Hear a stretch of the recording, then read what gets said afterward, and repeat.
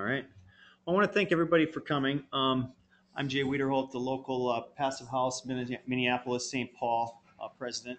Um, I just want to do a quick introduction first uh, before our speaker Gary Nelson begins. Um, we've done a few webinars, and this is our third one this fall, and we hope to repeat that in the spring. So uh, that's part of why we had the uh, the fee, and uh, so that we can continue to educate here and on the web. Um, a little history, real quick, about what we're doing. Um, locally and nationally, we have a Passive House Alliance that has started, and this is a group to uh, support the Passive House Institute here in the United States. There are similar groups uh, in other countries. Um, you can think of it as sim- uh, along the lines of the AIA nationally, and this is just a local chapter. There are many other local chapters around the country. Um, our mission and our program is mainly, you know, to do these types of things to educate and to bring people together and to spread the word. Um, right now, uh, our national organization has really uh, made big inroads in 2012, and we are up to over 300, uh, coming up on 350 members nationwide.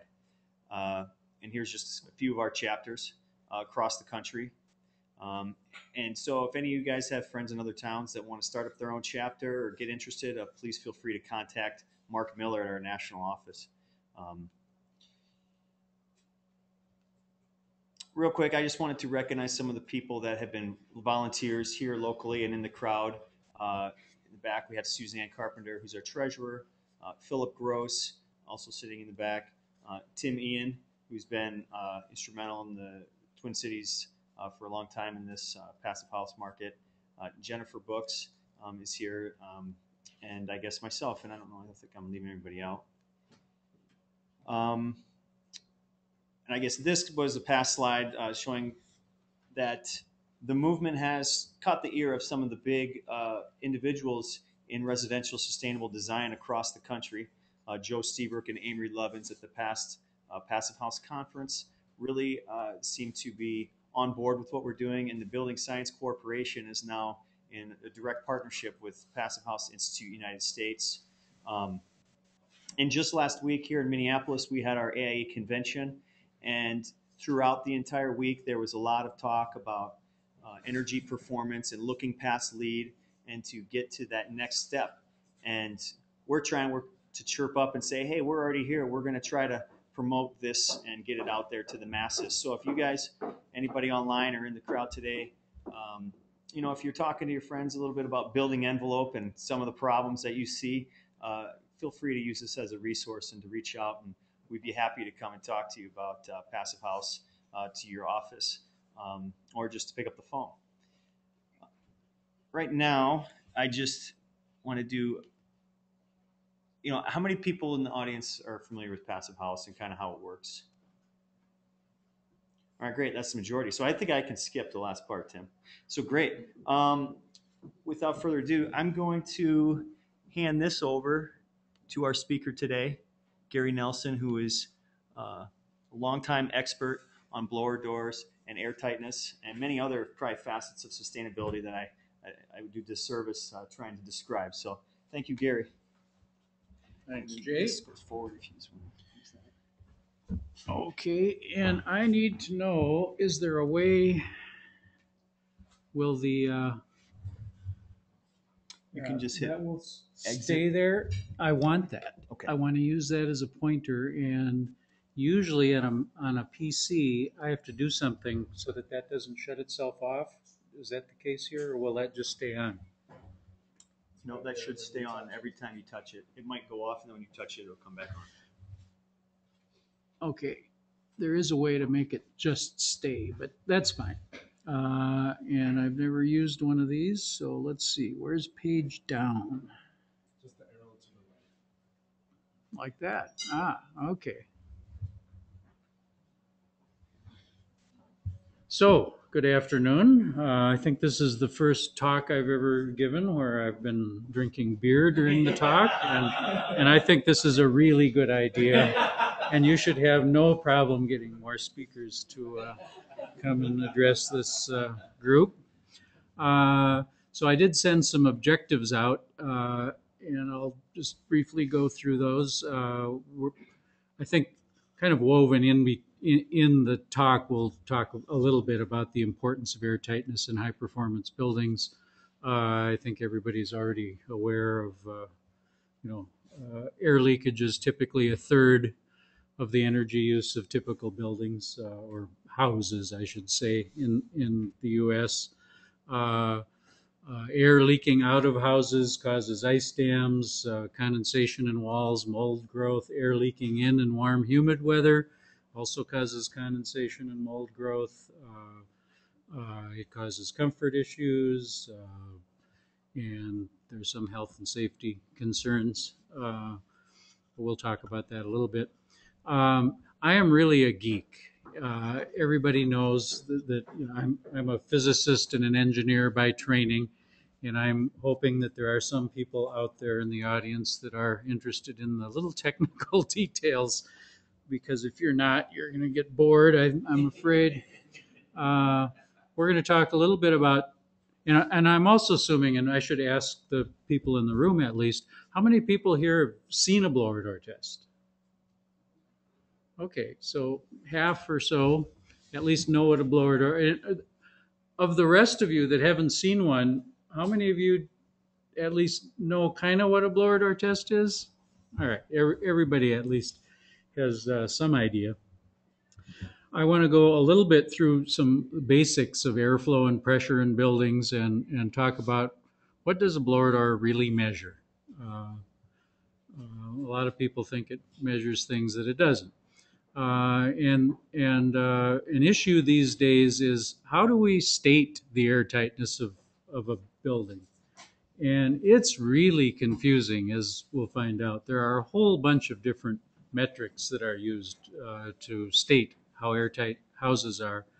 And unfortunately, well, and I, I'm going to I'm particularly here to talk uh, a lot about passive houses. I've been somewhat involved with the passive house uh, group in, in the U.S. I've been to all but one of the conferences. Uh, uh, I was on the founding board of EEBA, which is the Energy Efficient Building Association, or it used to be, uh, that really got started back around 1981 uh, for the same reason to promote really, really energy efficient buildings. And uh, the, the super insulated houses of the 80s were really very, very similar to the passive houses of today, although we now have better windows and we know more about air sealing and so on. Uh, so I, I'm I'm focusing somewhat on the on passive houses, and uh, I think it's important to to understand the the, the various metrics that are used. Uh, because I think we're using some of the wrong metrics, and I'm going to suggest that at least on bigger buildings, we we change the metrics that we're using, and I I think most people that are geeks like me agree, and, and it'll probably happen, but I'll talk a little bit about that. Uh, we'll talk a little bit about estimating natural air change rates in buildings, uh, and then uh, I'll go through some of the requirements for doing a blower door test on a passive house. Uh, both in the US and in other countries. Um, oh, my pictures don't show up. Is that right? Or, oh, there, okay, there they are. Uh, um, so this is just a simple diagram of a house. Uh, we have a, where is it? Okay. This is the blower door fan. So imagine that this house is sitting here on a day. There's no temperature difference between inside and outside. There's no wind. So with the blower door off, there's no pressure difference between inside and outside. And then we turn the blower door on and depressurize the house. We can either pressurize or depressurize. Uh, so we turn the blower door on and create a slight negative pressure in the building and then every place where there's a leak, whether the leak is from the attic through a duct leak into the into the ductwork and then back into the house through the supply and return registers or the interior duct leaks, or the air is coming from a crawl space vent, uh, finding a duct leak and getting sucked in through the return ducts. Uh, uh, when we depressurize the house, all of the leaks in the house are leaking in. The only place air is going out is through the blower door fan. And because of conservation of mass, the airflow rate going out through the blower door fan has to equal the airflow rate coming in through the leaks. So we're measuring at a certain pressure, at whatever pressure we're causing with the blower door fan running, we're measuring the leakage of the building with the blower door. The, the, and th- this picture shows uh, a minus 50. Uh, I should have probably said something about pascals. Uh, we're going to, we all in, in the air tightness uh, community talk about pressures in pascals. It's a metric unit of pressure. Uh, 50 pascals is really close to about one pound per square foot of pressure. Uh, 50 pascals is about the pressure on your forehead when, when you're facing into a 20 mile an hour wind. And when we're doing this test, we have a 20 mile an hour wind blowing on all four sides of the house, the top and the bottom, all at the same time. So this is far from uh, natural conditions. In, in, uh, in natural conditions, air is leaking in through half the leaks or so, and it's leaking out through the other half. And the flow in through the leaks where it's leaking in is always equal to the flow out through the leaks where it's leaking out. Uh, but you have no way of knowing which leaks are leaking in and which are leaking out in, under under normal operation. But when we're doing the blower door test, if we're depressurizing by by 50 pascals, uh, we know that all the leaks are leaking in, and the total airflow is equal to the air going out through the blower door. Um, so mass flow through the fan is equal to the mass flow through the leaks. Uh, now, if we if we do the test on a day when it's 70 degrees out and we're at sea level, we we are measuring airflow under what are considered con, considered standard conditions. Uh, but if it's zero degrees outside and it's 70 degrees inside, um, the flow coming in in cubic feet per minute is actually smaller than the flow in cubic feet per minute that are going out because the air expands as it comes in. And there are various standards we'll talk about briefly later that uh, uh, try to that that have in them uh, calculation procedures to adjust so that what we would try to measure with with the blower door is how much would the house leak if we were testing the house under standard conditions. So there are corrections for altitude and uh, outdoor and indoor temperature differences that get made. We're not going to get into that level of detail. That's always uh, uh, done with computer programs that are used to, to do all the analysis, but uh, that's all I'm going to say about that for now. Um, and one of the most common measures of the air tightness of a building or the leakage of the building is at when we induce a pressure of 50 pascals, how much air does it take? How much air are we sucking out, which is equal to the air that's being drawn in? Uh, how much is that flow at uh, 50 pascals of pressure difference uh, in CFM?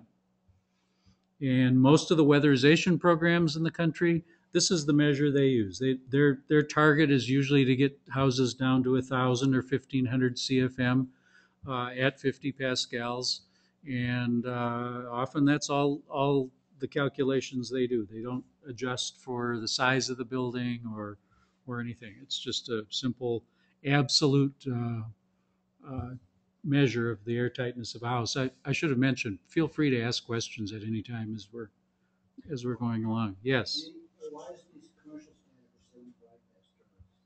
Why is what? For commercial buildings. Oh, based on 75 yeah, the- pascal. you want to repeat? I'll, I'll repeat the question. Yes, the question is, why do we use 75 pascals for commercial buildings? Um, I don't know. Uh, I think it's because, and actually in most European countries, I think in all European countries and probably most countries in the world, they also test big buildings at 50 pascals. I think in the US, we probably test at 75 because of a lot of the default pressures that you test building components at, like commercial windows and doors and wall assemblies and so on. For some reason, a long time ago, a long time in this industry being 20 years maybe, uh, for some reason they started talk, testing at 75 and i think some people have been in favor of testing buildings at the same pressure that they test components so that you can kind of compare things. Uh, in this talk even when we're talking about commercial buildings i'm going to translate all the numbers into leakage at 50 pascals. Uh, just so that we only have one new thing to think about here instead of a whole bunch of things. Um, so I guess, uh, okay, I should go back here. So when we turn the blower door on,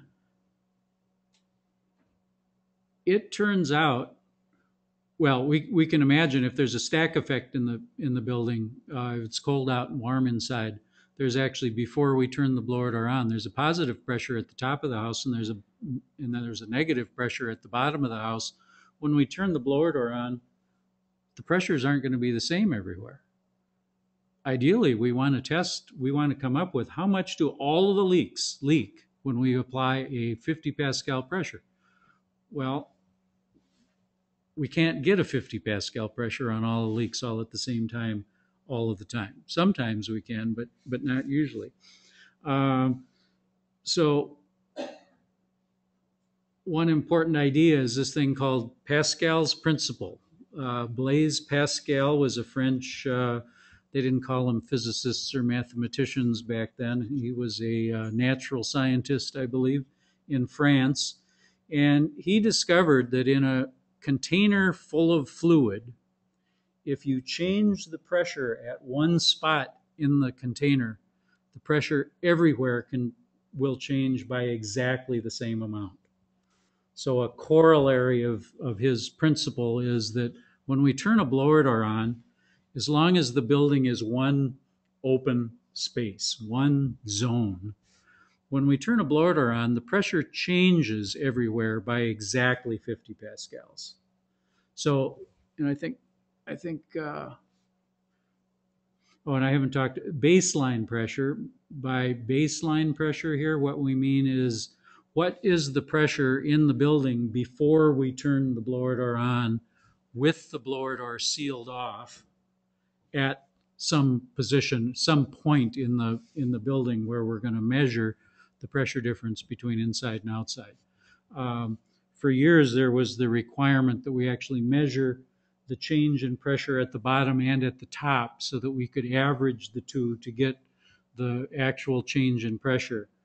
But the people that wrote that standard hadn't realized that Pascal in 1650 had figured out that the pressure changes the same everywhere. So as long as we subtract off what the pressure was before we started, it doesn't really matter where we measure the pressure because the pressure will change the same everywhere in the building. Uh, this is, I'm not going to talk about the stack effect. Presumably, everybody here knows something about the, the stack effect. But this was just to, to illustrate that on a cold day, uh, we have a negative pressure at the bottom, we have a positive pressure at the top. So if I put a blower door fan in this in this building, if I were to measure at the neutral pressure plane where there's no pressure, I'd be starting out at zero. I turn the blower door on and I go until the pressure gets to be 50. But if I measure the pressure down at the bottom and it's starting out at minus 2.7, I just turn the blower door on and I go until the pressure is minus 52.7. And at that point, I know that the pressure at the neutral pressure point is 50 and the pressure at the top is 50 minus 2.7, 47.3. And it isn't the same everywhere, but the average is approximately 50 because before we turn the blower door off, large areas of the building, well, roughly half of the building is leaking in, roughly half of the building is leaking out. So on the average, you could say the pressure is about zero. It's positive half in half of the building. It's negative in half. The average is about zero. So we could measure at the neutral pressure plane, but because of Pascal's principle, we it, it doesn't really matter where we measure. And it turns out when it's windy out, wind is really the devil for doing blower door tests. Wind causes noise, pressures are fluctuating all over, and the wind isn't doesn't blow very hard down at the ground. And it turns out that the pressure fluctuations are way less at the bottom of the building. So usually we would like to measure the pressure at the the pressure difference between inside and outside of the building at the bottom, where the wind is the lowest, and on the leeward side of the building, where it's uh, more still air outside. And then wherever we started from, we just depressurize by 50 pascals in order to get the flow at 50 pascals. Now, it does turn out these leaks, airflow, I think that's actually coming up. We'll uh, do that here. So, characterizing the air leakage. So, the way usually a blower door test is done, this we, we test the house at several different pressures, typically starting from 10 or 15 pascals and going up to 60 or 70 or 80, depending on is it a commercial building or a house. And then at each one of those pressures, we measure the flow, and this y axis should be labeled CFM. Um, and it would be nice if this was a straight line. It would make lots of our calculations all much simpler. Life would be great, but it's not. It it turns out it's got a shape kind of like this, uh, and people have found experimentally that if you fit an equation to the multi-point data, that a power law like this, where the flow is a constant times the pressure difference that we're inducing with the fan raised to a power n. Now, for leaks like if, if you have a window open or you've got a piece of cardboard with a round hole in it, it turns out the flow will be will be almost exactly proportional to the square root of the pressure difference. And that just means in this equation, n is 0.5. A power law with an exponent of 0.5 is the same as the square root. Uh, it also turns out if you have uh, really skinny long leaks, or if you say have densely packed cellulose insulation in a wall and there's air flowing through the wall through the cellulose insulation, you get what's called laminar flow. And under laminar flow, this, this exponent n becomes 1. Um, and in all other cases, the exponent n should be somewhere between 0.5 and 1. Theor- theory says it should be between 0.5 and 1 if everything else, if everything is uh, going right. I think we won't talk about that. Uh, and I already mentioned air density and viscosity also affect the the uh, leakage curve, and uh, we're going to come back to this. That that even though you see this power law equation written everywhere, the real curve isn't a power law. The the physics tell us that it's not really a power law. It just turns out that when you fit the data over a fairly narrow range, it fits a power law pretty well. So if you have a true power law and you graph the data on log log paper, this is where these distances are proportional to the logarithm of the number instead of the number itself. It turns out that a, a true power law, when plotted on log log paper, turns into a perfectly straight line. And the slope of that line is related to that exponent. And theoretically, if you measure that exponent, you find out that it's something close to 0.5, that theoretically tells you that you're going to tend to have larger, shorter leaks. If the exponent is point close to one, you're going to have tiny, long leaks instead of uh, big, short leaks. Uh, Gary, can you yes. expand on that for a second? Because you might be leading to um, answering a question I have. So when, when the number, the numbers come through from the blower door test, are you saying that um, if the geek that's working for you can decipher these charts and that those calculations, then they'll be able to discern the coefficient. The coefficient comes after you've done the measurement, and the coefficient is gonna tell you whether or not predominantly you're looking at a number of larger leaks, or you're looking at more linear, smaller leaks, or uniform leaks? Yeah, so, so the question is, if, if we do a blower door test, can the technician, you know, look at the results and tell us, are we looking for big leaks or small leaks? And yeah, in theory, sort of, but it turns out that a lot of times you may think you're looking for small leaks because say at a, a partition wall in the middle of the building, you've got a whole bunch of tiny leaks where air can leak from the building into the partition wall. And that leak has an exponent of one. But all that air that leaks into the partition wall leaks out at the top plate that's missing. And up in the attic, what you really are looking for is that big missing top plate. That's where you're going to seal. And so you could make a mistake and just look for tiny leaks in that case because the tiny leaks where the air is leaking into that partition wall do have a high exponent. But what you're really looking for is the hole where the where all those things come together and leak out the top of the building, which is a big hole. So I wouldn't really believe these numbers too much, but sometimes it's a it's a little bit useful to look at the exponent and especially if it's close to either 0.5 or 1, which is rare. Usually it turns out that that exponent n is somewhere between about 0.55 and 0.75, and it doesn't really vary by a whole lot. Um, there hasn't been, it, it, it's actually hard to measure a building over a large range of pressures and to go down to really low pressures.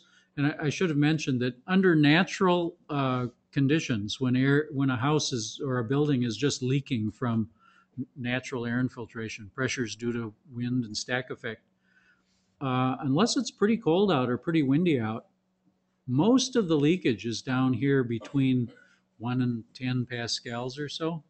So ideally, it would be nice if we could measure the air tightness of a building down there, but because of wind and uh, and other things going on, it's actually really hard to measure down at low pressures. So this this is some some of the only data that I've seen published where somebody did very careful measurements down way down to one pascal, and and it's really clear that uh, it's not exactly a straight line. And it also turns out if you really want to know how leaky a building is down here at one or two pascals, testing up here and then extrapolating with a straight line gives you the wrong answer.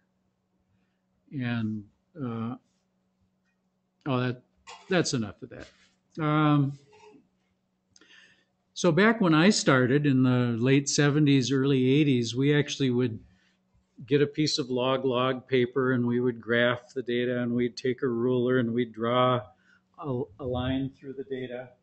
But I thought I'd show this just so that you can see some of the things that we can see from this graph when we do a multi-point blower door test.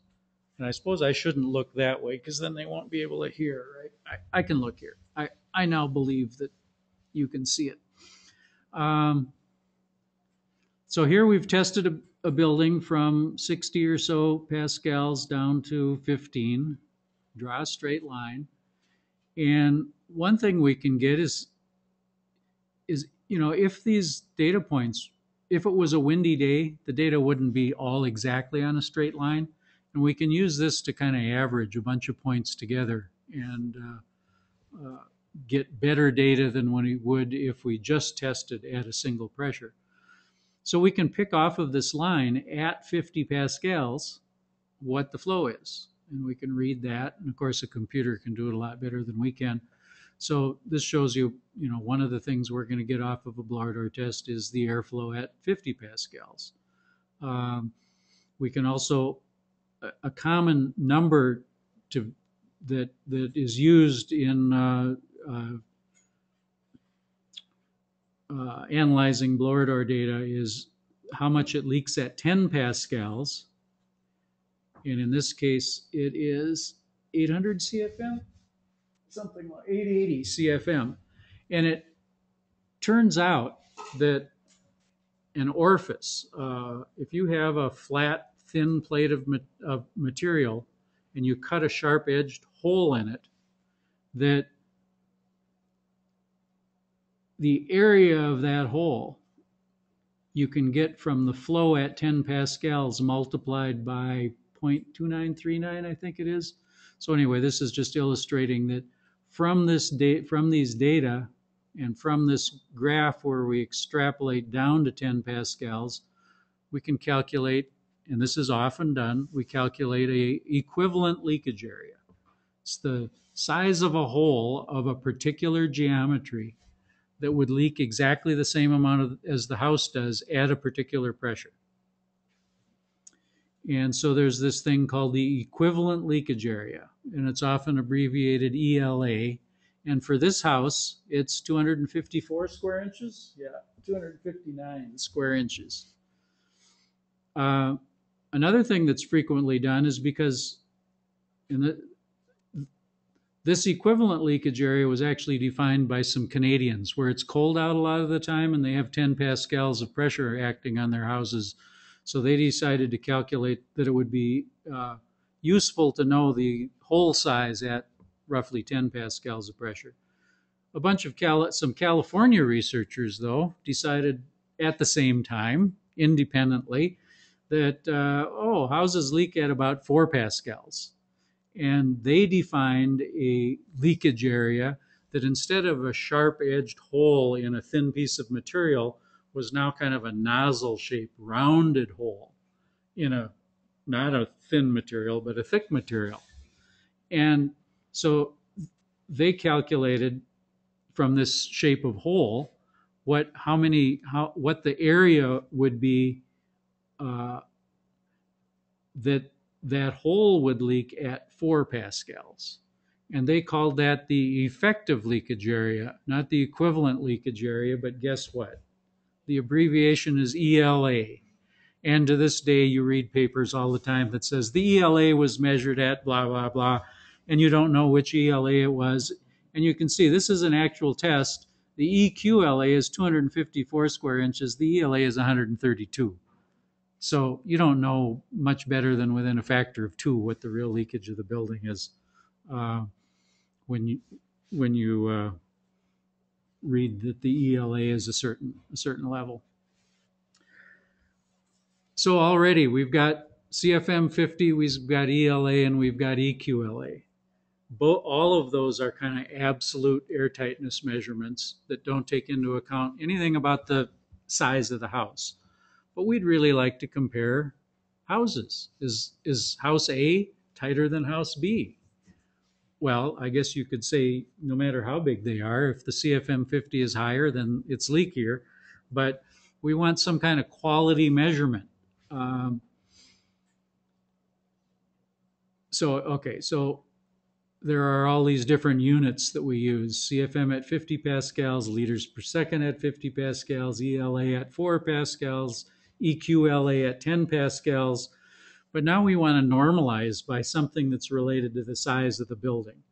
And uh, one really commonly used uh, uh, metric these days in commercial buildings is how much does the building leak at 75 pascals in CFM per square foot of surface area of the building. now it's interesting in England they usually don't include the slab on the, on the ground. They just use the surface area of the four walls and the roof. But in the rest of the world, they use all six sides. Now, fortunately, the Brits are deciding all right, we're going to go along with everybody because we really do want to all uh, be able to talk together and compare our buildings among ourselves. And, and so I think now it's getting to be, th- this is getting to be a very common standard. Of course, in Europe, it's not CFM, it's cubic meters per hour per square meter instead of CFM per square foot. And of course, cubic meters per hour isn't a metric unit because hours is, you know, the metric unit of time is seconds. So it should be really cubic meters per second. But that's a real small number, so they don't like that. But question? Here, does the, uh, use of the, or the use of the slab carry over to the use of basement walls? If you had a building with basement walls? Yeah, and in fact, back back when we started first making blower doors, we came up with something called the Minneapolis leakage ratio, which was CFM 50 divided by the above ground surface area. And it turns out that's exactly what the Brits do. They they only would count the the walls above ground and then the roof or the ceiling of the top floor. But yeah, you could do that. Um, and then another, and this I think came first, uh, was to normalize by volume. So we came up with this idea of air changes per hour at 50 pascals instead of how many cubic feet go through the building per hour or per minute. We calculate how many air, how many house volumes of air go through the building when it's pressurized to 50 pascals. Uh, and I, I kind of think this started in either Sweden or Canada. Uh, both the Swedes and the Canadians were the first ones to do a lot of this kind of work. So uh, it's it's this probably came from them. Uh, but you can see air changes per hour at 50 pascals, and this is the passive house program. The the standard for houses is that they have to be less than 0.6 air changes per hour when tested at a pressure of 50 pascals. Uh, and in order to calculate this, you just take the CFM and multiply by 60. That gives you CFH, cubic feet per hour. And if you divide the cubic feet per hour by the volume of the building, you find out how many air changes there are each hour. And uh, and then another commonly used metric is uh, you take the leakage area and you divide it by the floor area. And that's called the specific leakage area. That's used in Canada a lot, or in uh, California a lot. In all of the California regulations, they, they use specific leakage area. And, well,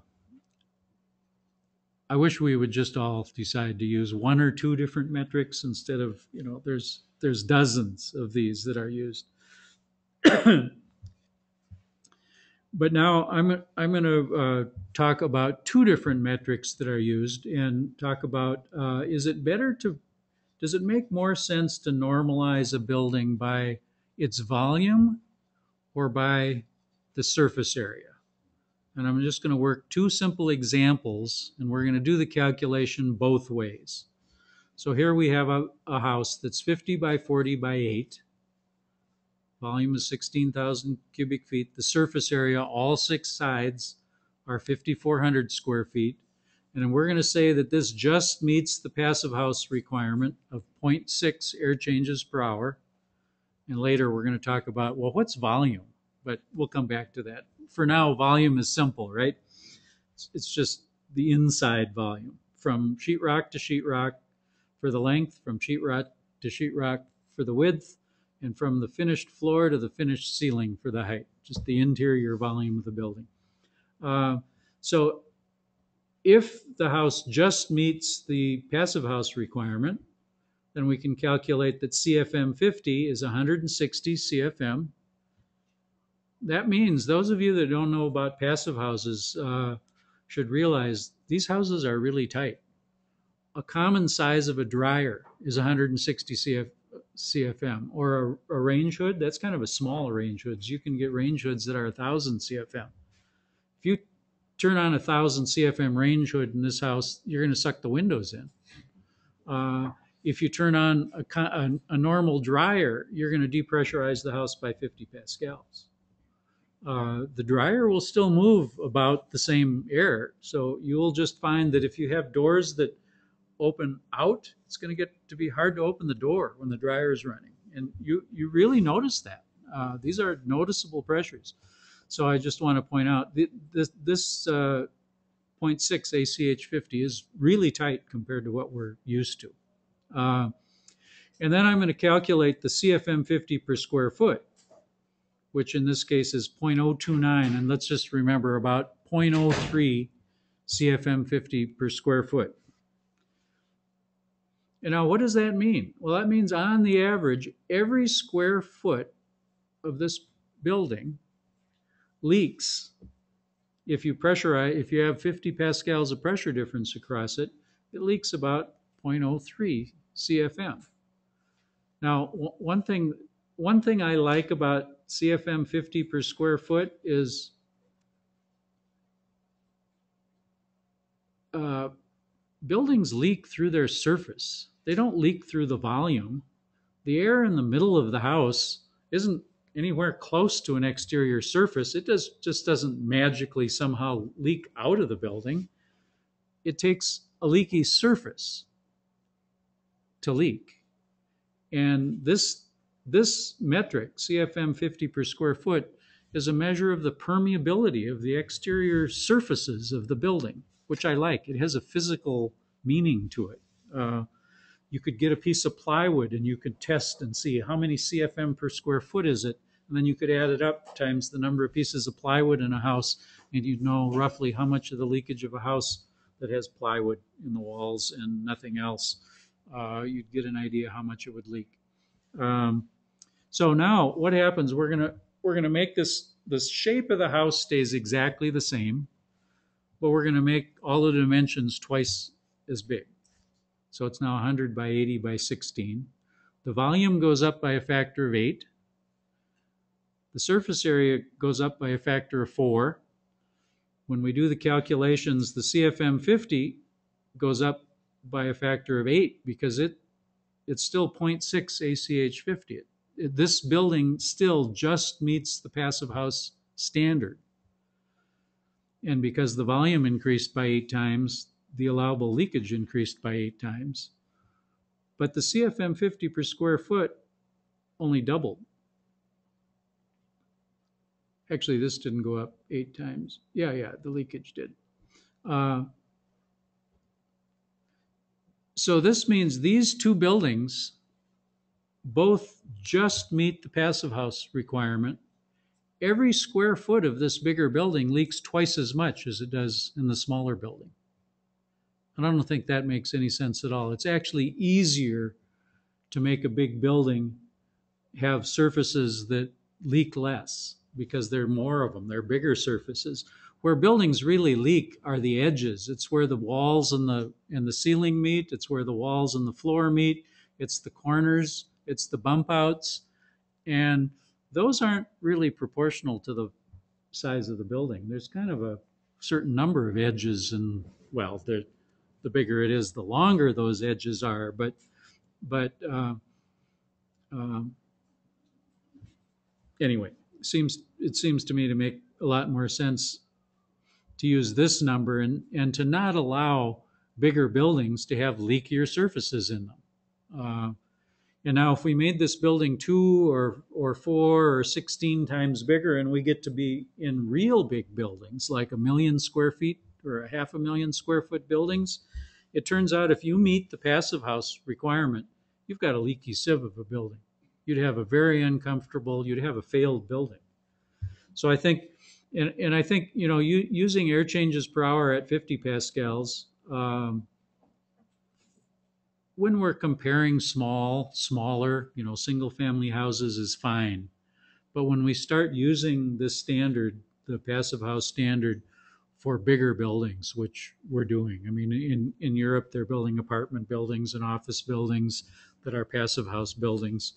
And to me, it makes, and, and I think the Germans that I know at least all agree that it makes no sense to use this 0.6 uh, air changes per hour any, any longer. We should be using uh, something that's related to the to the leakage of the surfaces. So I think CFM 50 per square foot or, or something like that makes a lot more sense. Uh, I forgot that I should keep track of time. And how, how long do I have? Well, it said till seven, but that we were Till s- probably having. Okay, there's plenty, plenty of time, plenty of time, plenty of time. Okay. So next I want to go over PHIUS's testing requirements for doing a blower door test on a house. Um, uh, and these are different slightly from the German Passive House Institute requirements. Uh, and I, I think it turns out the Passive House Institute doesn't really doesn't really care if other countries have slightly different standards for things. They just want to see good houses built. And, and we'll talk about the, actually, there's a Swedish passive house standard that, that is quite different from the rest of Europe. But, um, so these are the requirements in the US if you're going to certify a house through the Passive House Institute US. And I'm sure there are people here that know more about this than I do. So if I screw up, let me know. So with a PHIUS house, the well, and this is true in the in Europe also. The final test has to be done on the finished building. It's a good idea to probably do a test when the air barrier is installed and you're you can still see at least some of it so that when you do a test and you fail, it's not too late to fix it. Uh, going out to a house that's all done, the sheetrock, everything is in, the paint is on the wall and it doesn't pass, and the leaks are hidden inside the walls is, I don't like to do that. Uh, uh, it- it's it's a good idea to do a preliminary test sometime uh, and make sure that you're going to pass. Uh, but I think all of the, the it, it makes sense to have the program say that it has to be tested at the end because you can do a preliminary test and then the electrician and the plumber come and your house is just full of holes again and it wouldn't wouldn't pass the final test. Uh, uh, with PHIUS, the test has to be done by a certified PHIUS Plus rater. This PHIUS Plus rater is usually somebody that has been who is certified to be a HERS rater through ResNet, or in California, a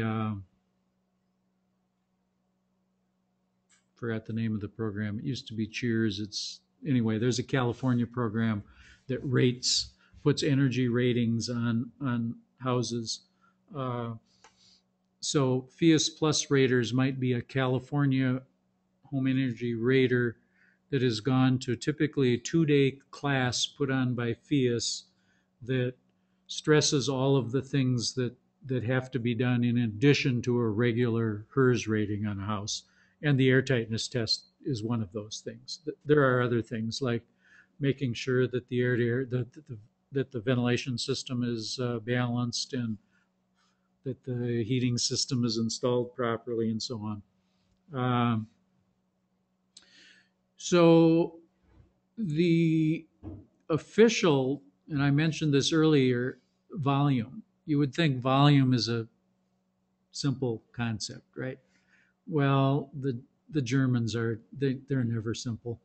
Uh, they came up with something called the net enclosed volume, and it's a good thing that this has to be provided by the project team.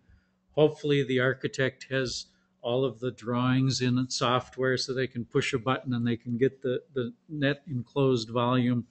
Uh, and here I mentioned the marble thought experiment. This is something that uh, I've heard from Katrin Klingenberg.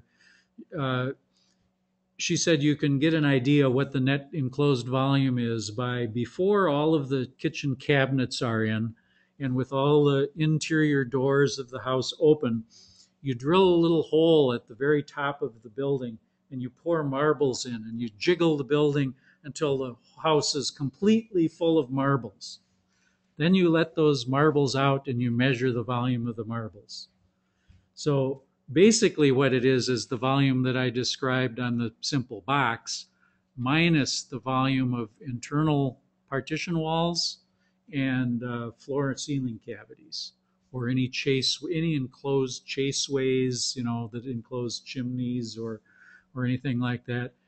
Th- those are not included in the net enclosed volume of the building.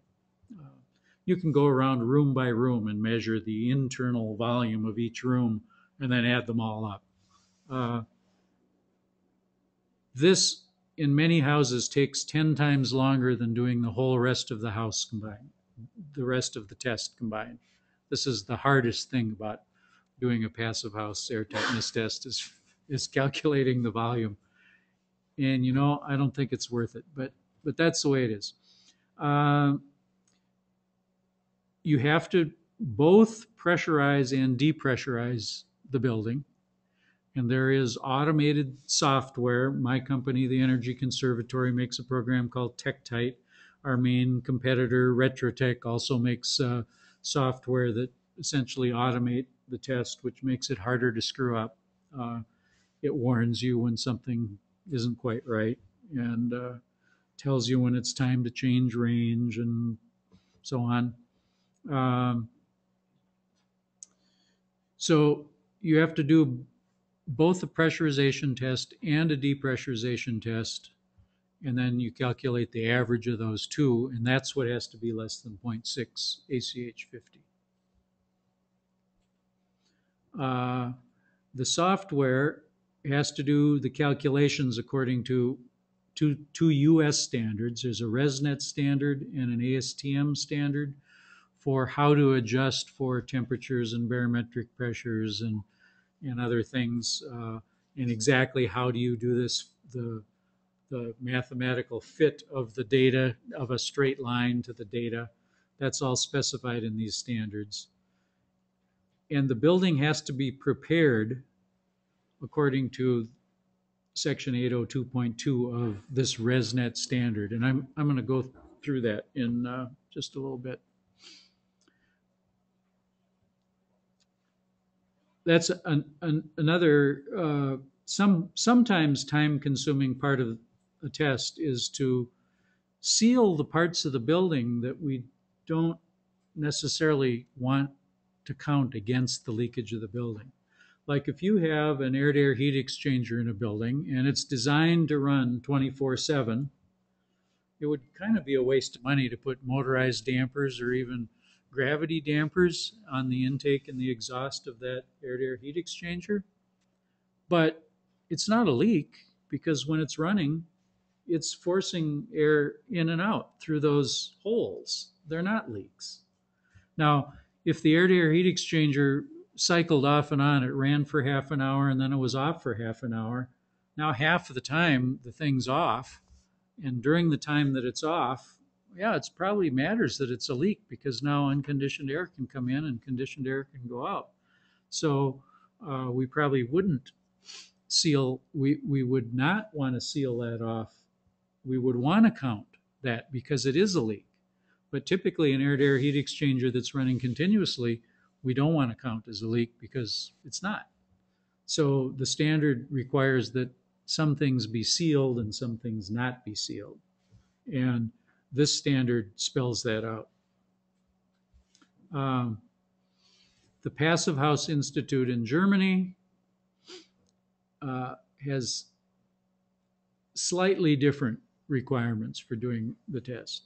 You don't have to, there is no certified blower door tester, as far as I know, uh, that's required to test a passive house. Uh, it's usually the uh, uh, design professional that's in in charge of designing the house that probably signs off or you know has to witness the test and say that the test was done right.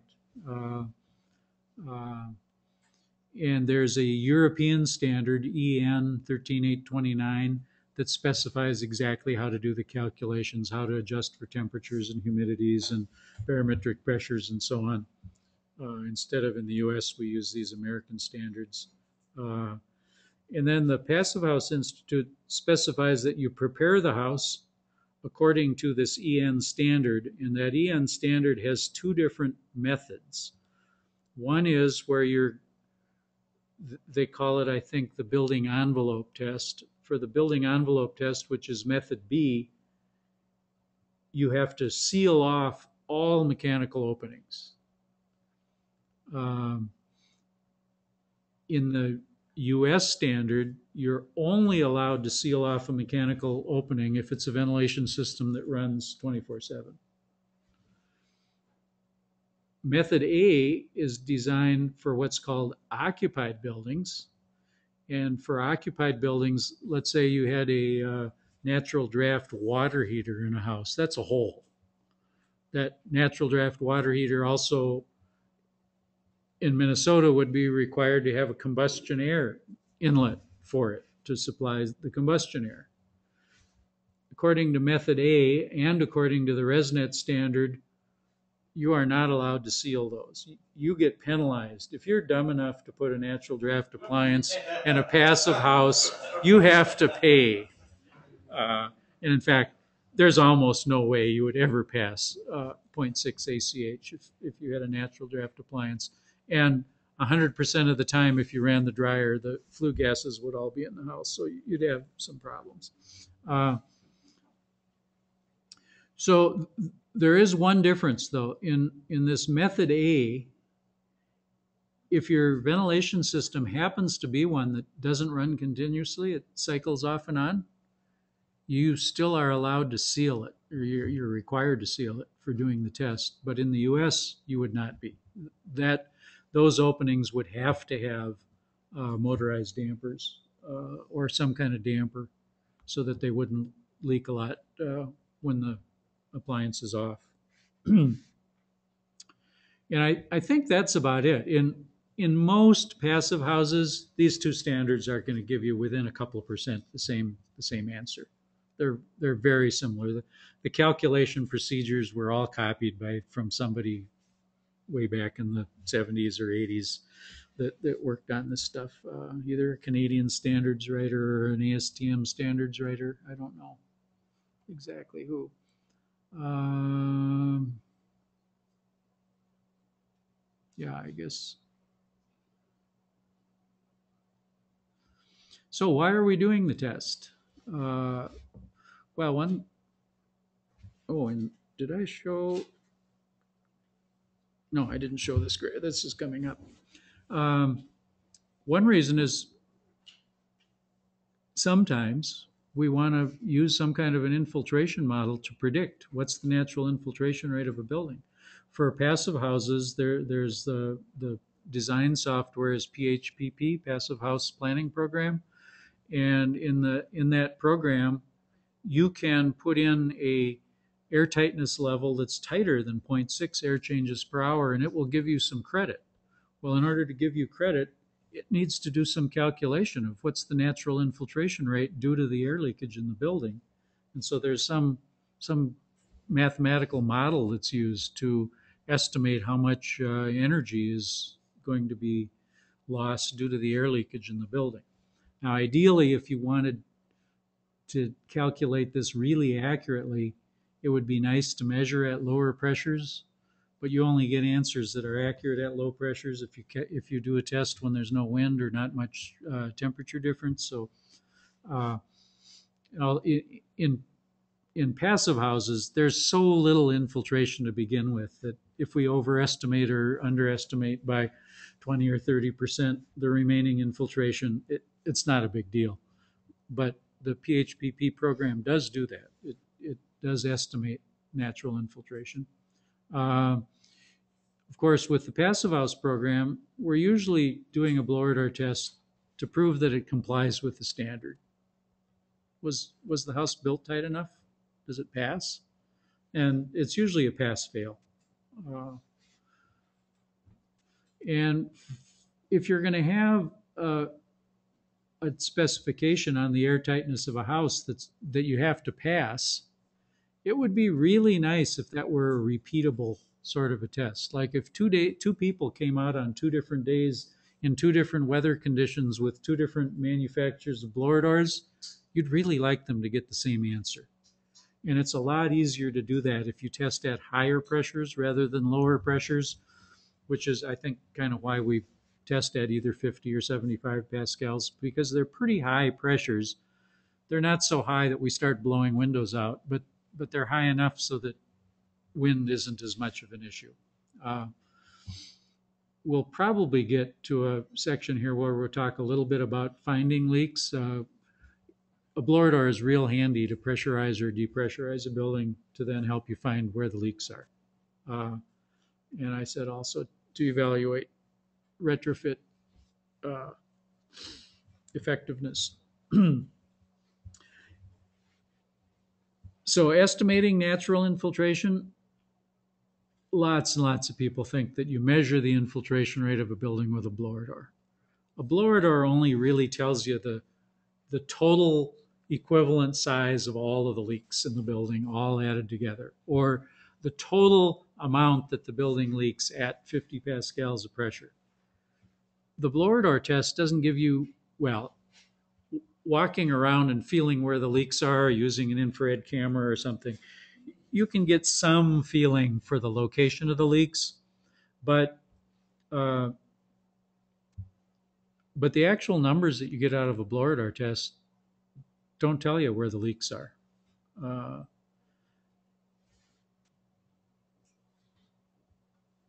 and infiltration depends not only on the number that we get out of the blower door, it also depends on where the leaks are, and it depends on the weather. So, uh,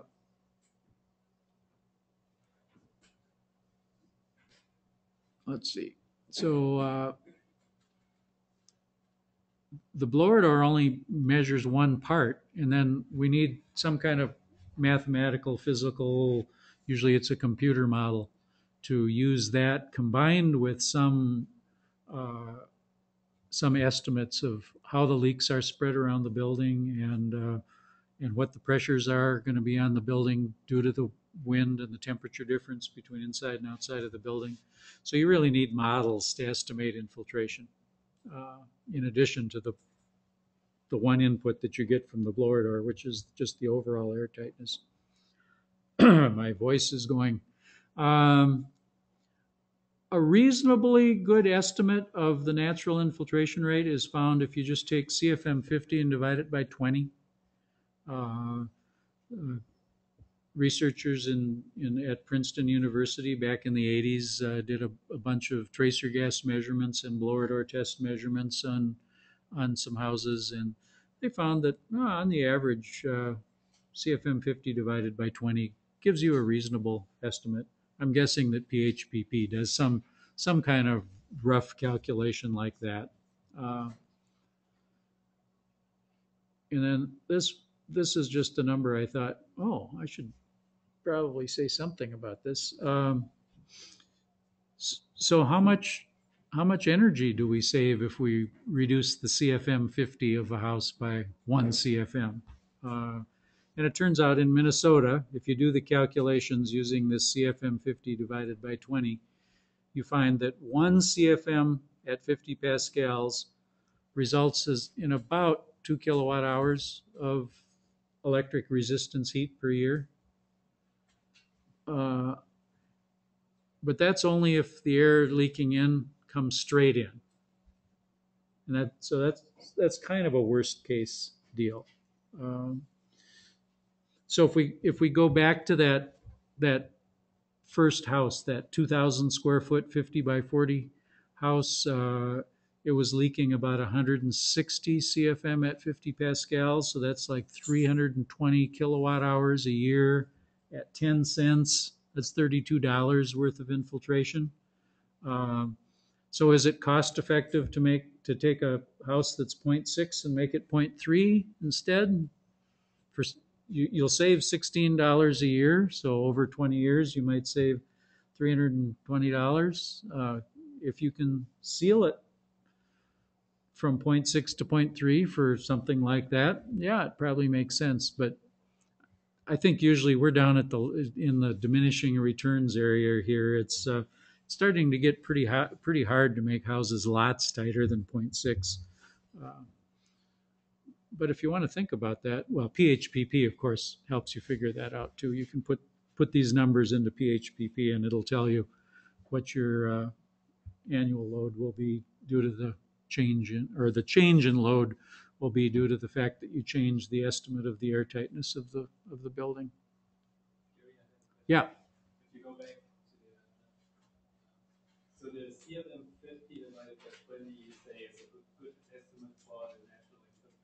Yeah. You pointed out before the equivalent holes that California and Canada did, they Mhm. used, uh, Pascal uh, four and ten, I think. Yep. If I divide fifty by twenty, that's two and a half. Wasn't that the intent of Canadians and Californians too, to have like that pressure difference, uh, the natural pressure difference of the house? Wasn't- So why two and a half, why not four or ten? Like is two and a half a better average pressure difference?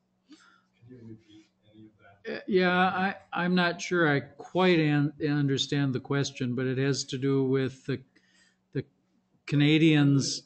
Yeah, the Canadians and the, and the Californians came up with these equivalent holes because, and, and they picked the pressure that they would measure the area of those holes at based on what typical pressures might be on buildings. But you can't just pick a single pressure because the pressures vary from zero up to hundreds of pascals in very windy weather and how you integrate that over a whole year is is more complicated than just saying well although i, I guess we could say uh, we could find what what pressure would cause a one's or a an what pressure would cause the ELA to leak the same amount as this number is? And then we could say, we could have an equivalent pressure and an equivalent uh, leakage area that combined would give you about the right natural infiltration rate? Maybe? I thought that what, what they were trying to do was like to take the natural uh, pressure difference, which you're saying now is two point five in an average year, and not four and not ten. So I, I thought like the No, it's not 2.5. This, we're taking CFM 50 and dividing by 20. So that's, but we're getting CFM CFM out of it, so really we're dividing fifty by twenty. no, but it's not, it's not linear. It's a power law. So it's going to turn out different than that. And sorry, I'm not repeating the question because I don't still quite answer it. And we need to talk more later. I need to move on. Uh, Thirty minutes thereabouts.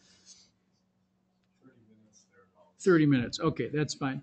So here's the best data that I have seen anywhere where somebody did very careful blower door tests and then uh, based on the wind shielding of the houses, they used there's a there's an infiltration model called the LBL infiltration model that depending on your assumptions of where the holes are, how exposed the house is to the wind, and then weather data for that site will estimate the natural infiltration rate. So they went out to something like 40 houses or 50 houses, and they estimated the air change rate, which is along the, oh, no, this is the estimated air change rate according using the LBL infiltration model and using measured weather data at the site with their estimates of how the leaks were distributed and, and so on. And then they did tracer gas measurements, so they actually measured the infiltration rate over the same period that they had the weather data for that they used to calculate the infiltration rate. So each, I'll pick one of these dots. That dot right there was a house where the measured air change rate was 0.8 air changes per hour, and the predicted air change rate was 0.6 air changes per hour. If you look at all these dots, you see, you know, the models don't work that great. There's there's a definite correlation. Leakier houses had more infiltration, but I wouldn't rely on uh, the predicted infiltration rate of a of a house too much, uh, and it's not because of the the measurement of the blower. The blower quite precisely, probably within an with an accuracy of better than five percent, measures the leakage at a certain pressure. The problem is we don't know where the leaks are and we don't know how exposed to the wind they are and we don't know what all the pressures are due to the wind at that site.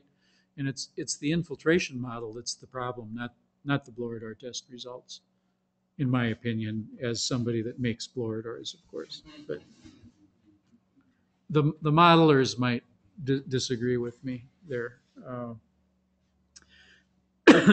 so I, now I want I want to talk about what are some of the codes and standards that are out there, uh, and this is just uh, an, an historical example. Uh, this is this is from a Swedish publication, and these numbers here in air changes per hour at 50 pascals are the Swedish standard for air tightness in buildings in 1975. Actually, it's the 75 code that was adopted in 1977. So Sweden has had requirements of three air changes per hour at 50 pascals for all new houses, single family houses, two if they're two story houses, and one if it's a, a bigger building, a multifamily building. That's almost passive house standard. The one is. And this is uh, 87, 97, oh, 35 years ago. And I'll go on to the next one to show that the United States now has our, our international conservation code for the northern two thirds of the country. Now, for the first time, has a requirement for air tightness of houses of three air changes per hour. So we're only we're thir- we're we're 35 years behind the Swedes, but but we're getting there. And uh, this is a I think a really big deal that for the first time in the U.S. we we now have a code. Of course, our international energy code. Why it's called international, I don't know. We're going to take over the world or something. Uh, uh, our international code finally is saying houses have to there there is an air tightness uh, standard for new houses and they have to be tested. Of course, in the International Energy Code uh, has to be adopted by individual states. It's not automatically, uh, it doesn't automatically go into effect like the German building code or the English building code or the UK building code or whatever. It has to be adopted by states. And I've heard rumors that Minnesota is pretty close. We will we will probably the the builders are kind of mostly going along. They think a lot of, something like half the builders think that this is a good idea. And the other half mostly don't care. They'll live with this so I, think in the in minnesota at least we will have air tightness requirements sometime in the next year or two.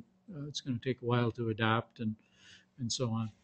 And in the rest of the in southern states you know the very southern tier uh, the the standard is relaxed some and it's 5 ACH 50 I don't think that makes much sense. I think in especially in Louisiana and and uh, you know along the Gulf Coast and in Florida, the moisture issues and the air conditioning moisture stuff is, is just as important. It's just as important there to build tight houses as it is here. I think. Uh, there obviously are some places like San Diego. It probably doesn't matter a lot. And They should they should have a different standard maybe, but but. Uh, so I was going to go back to the Swedish house, the Swedish uh, standards. Notice also that in 1988, the Swedish standard was changed to be not in air changes per hour at 50 pascals any longer, but a it's like a CFM per square foot at 50 pascals that I was talking about earlier, which is I think the way we really need to be moving, especially if we're going to apply this to uh, a very large range of, of buildings. Uh, and for reference, I, I calculated this three cubic meters per square meter per cu- three cubic meters per hour per square meter is about 0.16 CFM 50 per square foot. That passive house that was 2,000 feet was 0.03. The passive house that was much bigger was 0.06. So this is like five times leakier than a passive house. And three air changes per hour is five times leakier than a 0.6 uh, air change per hour passive house. So I think I think these standards, at least applied to single family houses, uh, are roughly five times leakier than than passive houses. Was there a question? So anything more about this? This, I think, is a real good thing, although uh, there are some problems with this being adopted by the code. The code just says all new houses shall be three ACH at 50 pascals. It doesn't say what standard, it doesn't say who does the test, it doesn't say how to calculate the volume. It doesn't say that you need, actually, I think it does say that you need ventilation. But we can still put in natural draft water heaters and dryers and kitchen fans in houses that are 3 ACH 50, and this is going to be a disaster. We are going to have, Minnesota isn't going to have this problem because Minnesota's had in the code this uh, protection against depressurization. You can't, you couldn't build this house and, and put in 150 CFM kitchen fan and 150 CFM dryer and still put in a natural draft water heater. But you can in North Dakota and South Dakota and Iowa and Wisconsin and all the rest of those states uh, that this is going to apply to. And I, I- think we're going to have some problems we need some training for people. Uh, hopefully, it will be adopted fairly slowly, and we'll have time. Uh, so, passive house is uh, the standard is 0.6 ACH 50, uh, except in Sweden, where it's a flow per square area, uh, like I like to see, and it's about 0.06 CFM 50 per square foot. So it turns out that 2,000 square foot house, that if it meets passive house standards, this number would be required to be less than about 0.03. So in Sweden, that house would be allowed to be twice as leaky as a passive house would in Germany or in the United States. But if it were twice as big, it would be about the same number. And if it were four times as big, it would be much tighter per square foot. So it's kind of a kind of a trade-off. I think I think this is a reasonable number. I was talking to Semmelhack today. There's a passive house uh, alliance technical committee that's looking into this that that I think I'm going to be involved with, and uh, one of our jobs is going to be pick a number, and I'm sure there'll be a lot of discussion. But I, why not go with Sweden? Um, the UK has had a requirement for commercial buildings. I think it's buildings larger than 10,000 square meter floor area. And their standard is, we won't, I'll just talk about the translation, about 0.55 CFM 50 per square foot, which is 20 times leakier than the passive house standard for houses in US or most of Europe. So I, I don't know, know how they passed, how they uh, selected this number. But of course, once you have a standard and you re- require testing, uh, people figure out, well, you can't just slap the thing together. You got to pay some attention. And all of a sudden, buildings get to be two or three or four times tighter than the standard. So, you know, UK buildings are not this leaky. Yeah. all these uh, numbers per square foot are the square foot is the surface area, S- not the square. surface area, all six sides of the box, including the earth contact surfaces. Yeah. And then they, they also have a best practices for air conditioning build conditioned buildings, and, and that's down at 0.11, which isn't isn't too bad. Uh, and I think they have other other recommendations for a, a refrigerated warehouse and all different types of buildings, some of which they recommend be extremely airtight. Um, anybody here involved with Energy Star houses? There's a new version of Energy Star that just started in 2012. They also require in well, I think we're in zone seven, so I think we're are we in six? Okay, so so for Energy Star, we have to be four ACH 50. Most new houses in Minnesota are somewhere in the two to four range. Three is probably average. So we're, we're already on the average meeting the new IECC energy code, which probably is why the Minnesota builders didn't fight it too too hard because they, they already know how to do this. It's it's not really hard. This is a huge deal. The Army Corps of Engineers, for several years now, I think it's been about three years, has required all new Army buildings to pass a standard, to meet a standard, and they have to be tested. And that test is the, the standard is 0.25 CFM per square foot at 75 pascals. The at 50 pascals, that turns out to be 0.19. And uh, I know the guy that's in charge of this program, and the first building that builders built after the standard went into effect, um, probably half of those builders failed their first test. Almost nobody failed their second test. It, once you realize how easy it is to build buildings and realize, boy, it costs a lot of money to fix a building uh, compared to what it costs to build it right the first time. Uh, so they've all figured out how to do this, and uh, they've now tested hundreds and hundreds of buildings, and they're typically coming in at about 0.1 CFM per square foot, and that that's down here at 0.06 or so. That's roughly the passive house standard for that large building in Sweden, twice the passive house standard for houses in the U.S. But that's getting down there. That's that's that would be a good number. Now, uh, Terry Brennan is is a good friend of mine, building physics guy, uh, who's tested a lot of these buildings and he thinks that I, I think that he thinks uh, we've talked about this and, and he thinks that yeah for a barracks or an office building or something this is pretty easy to meet. But if it but if it's a, a, a kitchen it's a mess hall or a hospital with all kinds of mechanical penetrations it's really hard to get down to 0.1 cfm per square foot at 75 so he thinks there should there should be allowances for types of buildings, uh, that some types of buildings, especially ones with fume hoods, you know, laboratory buildings, should probably be allowed to be a little bit leakier. Uh, so I'll say a little bit about testing big buildings. It.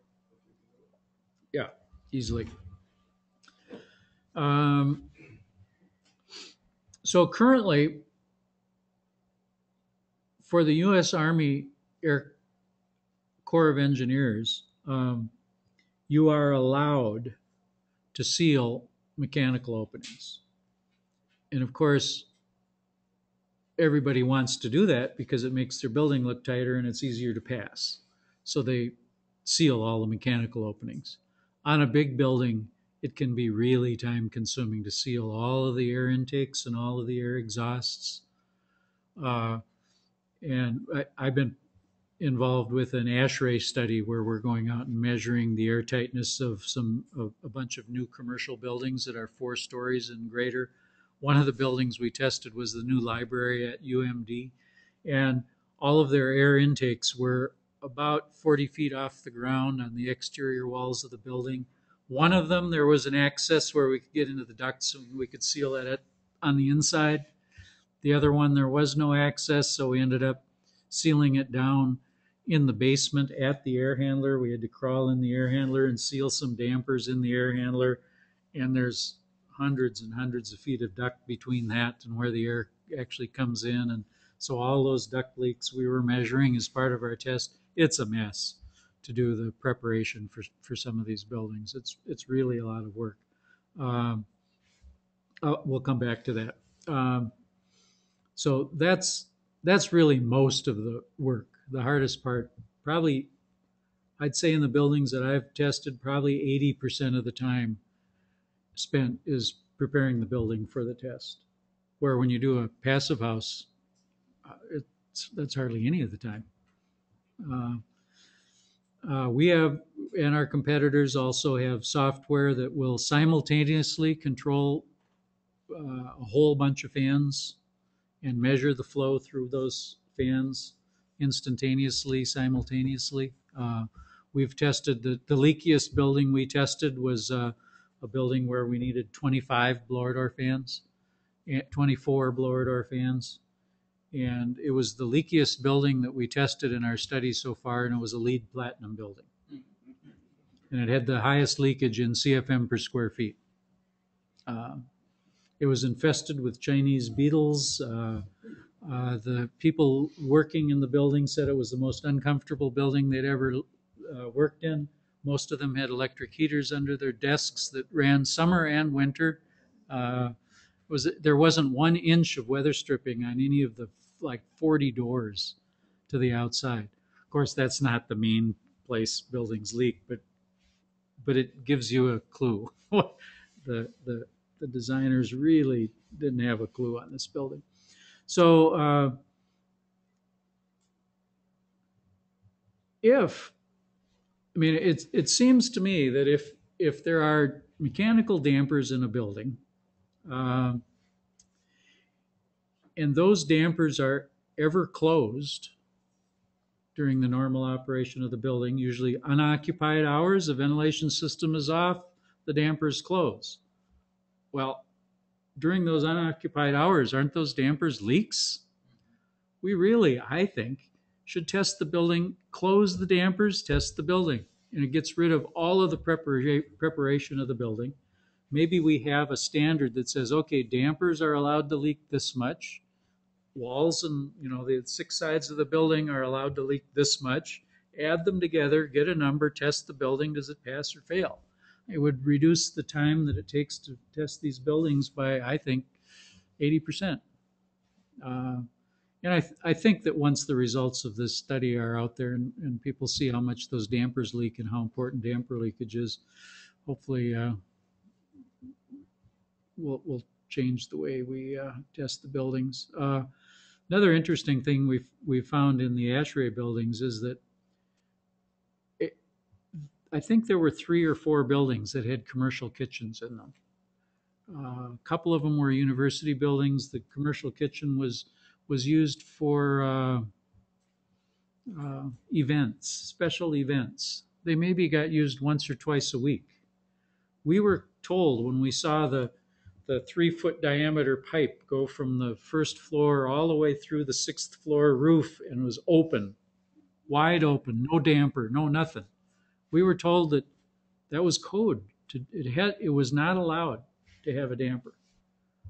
But I've th- there was a, an article in the ASHRAE Journal uh, a couple of months ago that that recommended that you always have dampers on kitchen commercial kitchen fans because otherwise birds get in there and it's not good to have dead birds in your kitchen ventilation system or, or live ones either uh, so i don't know i think we need we need to do something about commercial kitchen fans they really need to be dampered somehow could even be a manual thing that you you know you turn the hood off and you pull this shade over the hood down in the in the kitchen or something but um, they're they're a big problem. Uh, so we set up blower doors like this. We put three fans in a door.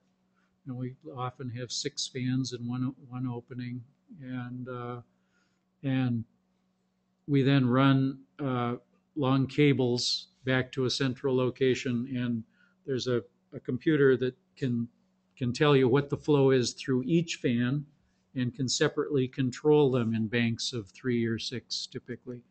Uh, so we can we can we could have a say a, a building that was kind of two zones, uh, two big areas, but that were separated with a door that uh, didn't allow you to get uniform pressure in the two sides of the building unless you put one bank of, of blower doors in one part of the building, another bank in the other part of the building, And then with your computer, you can control the two banks until you get both parts of the building at exactly the same pressure, and it, it makes it do the, doing these kinds of tests way, way easier. Um, in the UK, there are a bunch of these going all over. Of course, I told you how leaky their buildings are. They really need these big fans to test their to test their big their big buildings. This one has a power takeoff from the Land Rover's gasoline engine to drive. I think it was a, like a 150,000 CFM fan. Uh, Infiltec out in Virginia makes a. This is a gasoline powered 20 has a 25 horsepower gasoline motor that's uh, inside of here that's running a fan that's probably six feet in diameter and moves about 55,000 CFM. This is really a, a good way to test a big open warehouse kind of building. But uh, when you're testing an office building, I think if you put this on one door, you often have a problem that you don't get uniform pressures in the building because there are restrictions. We call them bottlenecks, you know, hallways and, and, and, and doors, interior doors that prohibit you from getting uniform pressures. And it's, it's nice to have smaller fans and to distribute them around the building. And then you can, you can uh, quite easily uh, get the whole building up to the same pressure. So here, here's a passive house in Germany, tested with one blower door fan. There, I don't know if you can see it, but there's there's actually two of them here, but one of them is is blowing air out, and the other one is blowing air in. And they did that so that they could separately do so that they could quickly go back and forth between a pressurization test and a depressurization test without having to turn the fan around. So it's actually only one fan to test this whole building. And I think the leakage of this building per square foot turns out to be about 0.03 CFM 50 per square foot. So if we build buildings that meet the passive house standard, it becomes trivial to test them. Uh, it's, it's very quick. Uh, it's not a big deal. Uh, and I think we probably would have had standards. ASHRAE would have had a standard. Uh, LEED probably would have had a standard for air tightness, except everybody said we can't test big buildings. Well, we, we can test big buildings. And if they're tight, it's really easy to test big buildings. Uh, and I, I think I think we're going to be doing this uh, a lot more in the in the near future. And that's a good place to stop. If there are some questions or discussion or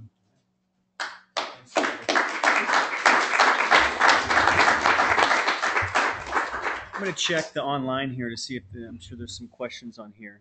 I'm gonna get a beer. answer. All right. Is there, is there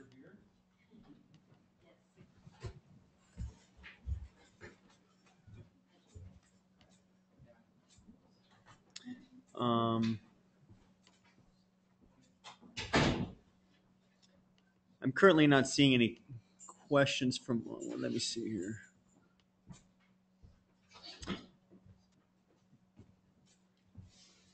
Well, I don't, I don't know if I see any. Um, if there is any questions, I guess you can type them in now, and then the audience, if you have any further questions for Gary.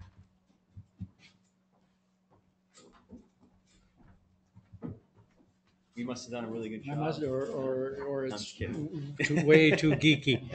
Yeah, Can you have some of your time? sure. All right. Uh, Could you give us some uh, feedback on uh, how uh, to make good residential air barriers with the different types of approaches are and approaches to the moment in terms of how effective it is and cost effective they are? you know, from your- I, I can, yeah, I can say a little bit about that. The question was uh, a- advice on how to make uh, a good airtight building, residential building.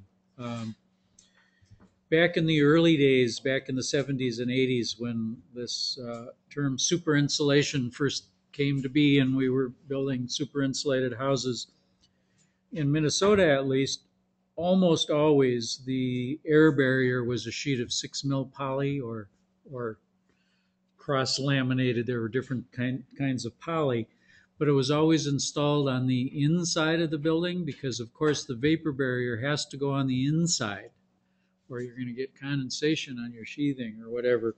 Um, and the problem with that is you've got partition walls and floors between floors and ceilings between floors where you now have to seal the poly to the to the floor of the second floor and somehow you got to seal the first floor up to the ceiling and getting the, getting the continuity around these connections with the interior partitions was really is is hard now there are still people out there doing that and making houses that are one and a half or two ACH 50.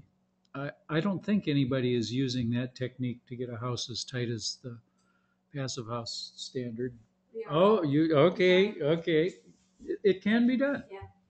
And, and it's not a bad idea, but it, not it's- necessarily the most it's elegant. hard. Yeah, it's It takes a lot, there's a lot of labor involved. Um, I think a much easier approach is to, to wrap the building on the outside and then put enough foam on the outside of that so that you don't get condensation on, on the air barrier. Um, I think most, am I, am I right in Europe? I think most passive houses have multiple layers and at some point the building is wrapped on the outside and then either another stud wall is added on the outside and cellulose blown in uh, or foam. I don't think foam is used as much there as it is here. Uh, uh, people don't like that environmentally and I, I don't know about that. Uh, They usually build a wall in front of the, the load bearing wall in Europe called the installation wall, and that has nothing to do with the air barrier. So the, the inside of the load bearing wall is the air but then they put another two by four wall in front of that that they use to run pipes and electrical Yeah. and all of that. So, so he said that usually in, in Europe, you see a load-bearing wall built, and the air barrier then goes on the inside of that load-bearing wall. And this is what I saw when I was there maybe eight years ago or so. In a two-story building, um, the load-bearing wall was built without without the floor between the first and second floor installed. So you go in this building and it's OSB or plywood from the ground all the way up to the top of the building. You're in a plywood box with no connections to partitions or anything. That's made airtight, and then you build your finished walls as a second wall inside of that with the floor trusses hung from some kind of hangers on that uh, plywood or OSB, probably into the studs also for, for structure. But yeah, I, I, I think somehow eliminating having to, to seal all of those connections be, around the partition walls and the, the, the uh, structural floors really makes it a lot easier. And of course, there's uh, an- another thing that people try, of course, is spray foam. Eh, Well, and there's a bunch, there are people out there that think, oh, you can just build a double wall and just pack it tight full of cellulose, and cellulose stops airflow. Well, cellulose slows down airflow, but I think you're going to be, it's going to be really hard to, to meet the passive house standard just doing something like that. You're, you're going to need an air barrier uh, film of some sort somewhere. Uh, so I, I don't think that's a good good way to do it. Uh, spray foam um, is often touted as being a way of doing this, but but the spray foam you you build your uh, structural wall, you put the exterior sheathing on, and then you spray foam between the studs. But one of the some of the biggest leaks, the the bottom plate to subfloor doesn't get sealed. The crack between the subfloor and the rim joist doesn't get sealed. The rim joist to sill plate doesn't get sealed. Um, in the corners, you miss a lot. And I've, I've, I've tested houses that were spray foamed from the inside that were not particularly airtight at all.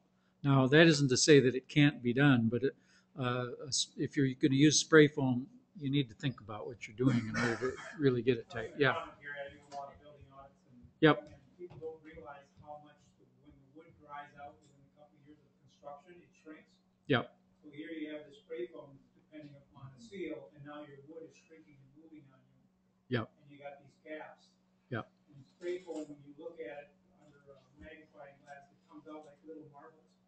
Yep. If you put a bunch of marbles in a jar, you'd realize that it's pretty porous. And that's, so spray foam really doesn't hold the air? It it slows it down. Yep. nothing. Now, if you build the wall and then you spray continuous foam on the outside and then you hang uh, uh, your exterior siding off of some kind of hangers, there, there's a lot of commercial construction that's done that way, and, and you can obviously get a house, a building really tight that way. I know John Straub, one of uh, Joe Lstiburek's partners and a building physics uh, instructor in Canada, uh, he did that to his existing house. He he devised some kind of interesting hangers to hang an exterior second wall on the outside of his his house, and then he sprayed foam in between those on the outside up to those hangers, and and he got his house extremely tight. And of course, now you have no thermal bridges and uh, perfect insulation, and, and you get rid of the chance of moisture problems because you've got enough insulation outside of the condensing plane where you're not going to get condensation in the wall. And there's a lot to be said by for putting foam on the outside of a wall. That that air can't get to, that it has to stop before it starts. You don't want air to be leaking out through all the cracks in the foam either. But uh, some you need some kind of a barrier. Yeah, yeah. And you know, a lot of buildings these days will will have a couple layers of foam, and either the inside layer will be taped or the outside layer will be taped, and you can really get houses extremely tight by taping things. And I, really wonder, you know, in 50 years, uh, is that tape still going to be good?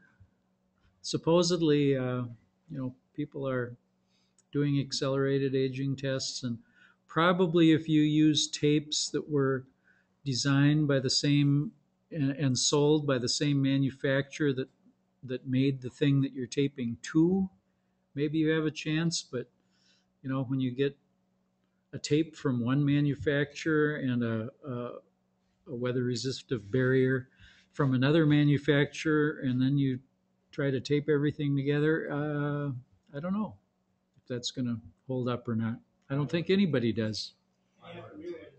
Prime, yeah, and there are primers, and and there are some. I, I've heard good things lately about uh, Tremco having really good literature that describes what of all of the things that they make, what can be used with what products can be used with other products without having interactions.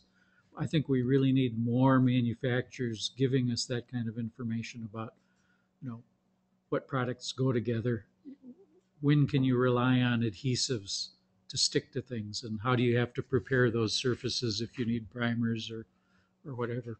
The trend seems to be toward more acrylic type adhesives versus butyl or asphalt based adhesives, because they don't have as wide a temperature swing unless they lose their seal. Yep. So he's he's saying the type of adhesive obviously matters, and it should be flexible. And if it's seeing, of course, if you have foam on the outside, the the hopefully the it won't see the the temperature swings. That's a nice thing about getting an insulated wall, whether it's a double wall sprayed with or uh, packed with cellulose or foam or whatever. Getting that on the outside of your air barrier is going to make your air barrier a lot uh, probably a lot more durable. It's not going to see the temperature swings and the moisture swings that it'll see if it's on the outside. Yeah. Have you seen Tyvek used effectively? I've heard it's difficult to seal the joints. Isn't it Tyvek's better? So the question is, have I seen Tyvek being used successfully? Oh yeah, Tyvek certainly can be can be sealed. You hardly ever see it that way, unless you look at the manufacturer's instructions. They show you how to do it, but nobody does it that way.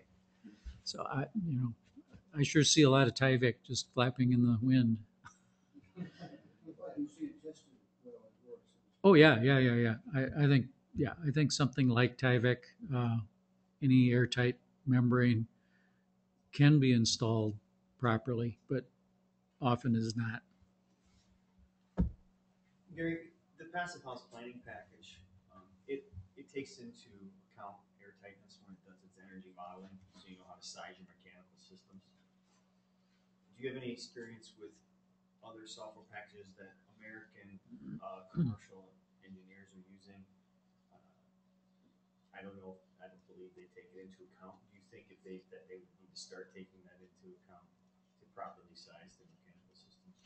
So the question is PHPP takes into account air leakage in designing, sizing mechanical equipment. Are there other software packages that do? And I think so. I mean, REMRate would ask for the air leakage. Uh, I think, I think a lot of software packages do take air leakage into account, yeah. I don't know how they all how good they are at running the model. I think in a lot of cases, the, the programs assume uh, that the air infiltration rate is a constant. They'll, they'll do the, this like ACH 50 divided by 20 and you get a number and then you assume that it's constant. Well, when it's 20 below zero out and there's a 40 mile an hour wind, the air infiltration is a lot higher than it is on a day when it's 60 and there's a 10 mile an hour wind. And they if you're designing a heating system you better design it for the design day. But at least I, I know that at least some of the software does that. I i don't i don't know the details though. I haven't looked into that. I have a question about, Yeah. uh, when you should not have a blower door test done. Um, So let's say one is scheduled, could you give some sort of general, um, conditions, you know, when wind speed is above X or Y? You know, is there, uh, so the question is uh, uh, when should you not do a blower door test um, and i'd say um, temperature isn't a problem. I've done blower door tests when it's 30 below zero, and I would usually only depressurize uh, on a day like that because, well, of, of course, now if it's a passive house, blowing 100 CFM of outside air into a house isn't such a big deal. Now, when I've tested houses, uh, they're usually leakier than that. And blowing a thousand CFM of 20 below zero air into a house, that's a really cold draft and it'll kill plants and, and birds and other small animals very quickly, I'm sure. I don't have any uh, personal experience with that, but, but I think that could be a problem. When you depressurize, though, and the, the air is coming in through lots and lots of small leaks, uh, a lot, it, it really warms up a lot and it gets distributed around the building and you don't notice the, the really, it, the building does not cool off nearly as fast as it does when you're pressurizing. my question was actually more about accuracy of the test, and on a certain, on a very windy day, I, um, you know, is it, is there a certain point where Yeah, too much working against you? yeah, from an accuracy standpoint, I, I think, you know, once the wind gets to be more than 15 or 20 miles an hour, it can, can be a problem. Although there are things that you can do. We're, we found that in the, in the big building testing that we've done, we thought that wind was going to be a big issue. And I think that's actually one of the reasons why we test at 75 pascals instead of 50, because the thought was, oh, the tall buildings are going to be really noisy because of the much more exposure to the wind. Well, we thought that would be the case, so we actually measure the pressure difference between inside and outside on all four walls of the building, and then we average those uh, electronically. I mean, math, the software knows what all four pressures are, and it and it averages those four, and then we graph the average of the four, and it's amazing that that really makes uh, the wind pressure fluctuations go down a lot. Course, if a gust of wind comes up and it hits the north side of the building, that creates a positive, uh, thinking from the outside of the building, that positively pressurizes the north side, and at the same time, it depressurizes the south side. And if you average the two together, a lot of the gust uh, pressures get averaged out, get canceled. So that helps. So there are there are things like that you can do on a windy day that will allow you to get a more accurate reading. There also there is a, a problem even if if you have absolutely steady winds so that you don't have these fluctuating pressures. We usually think that it's the the noise, the, the fluctuating pressures that that's the real big issue. Um, but if th- there's there was a paper presented at the at a conference in Copenhagen about three weeks ago, four weeks ago that I went to, where they did modeling, uh, detailed modeling of of how wind blowing on a building with certain distributions of leaks would uh, would respond to a blower door test, and and they found that that uh, it's not just the pressure fluctu. Well, I shouldn't say they found. We we knew this also.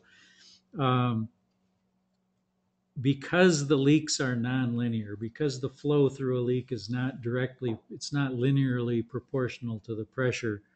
Uh, when you have pressures acting across a leak before you turn the fan on, even though I said that, oh, you can subtract off the baseline and everything will be hunky dory. It's not quite true. If, if the wind gets to be too high, you can cause errors, not because of the fluctuations, but just because of the, the pressures due to the wind. I- I think 20 miles an hour, once you get above 20 miles an hour, there are probably problems. But I don't know that. I think, I think more work needs to be done on that more work is being done on that. Hopefully, usually though, if you're if if you're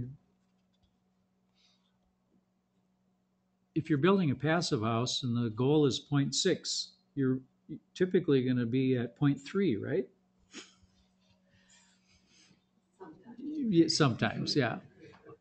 Hopefully, you learn how to how to um, pass the standard with flying colors, so that even though there might be some errors due to the wind, you'll you'll still you'll still pass.